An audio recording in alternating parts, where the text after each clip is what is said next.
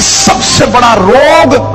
मेरे बारे में क्या कहेंगे लोग? It's a disease it's a disease that 90 percent of the people are smitten with तुम्हें कोई कुछ कह देता है, तुम सोचते हो बस सारी दुनिया ही लुट गई। रोने लग जाती अरे सोचो! आम के पेड़ को पत्थर मारते हैं लोग, नीम के पेड़ को कोई पत्थर नहीं मारता।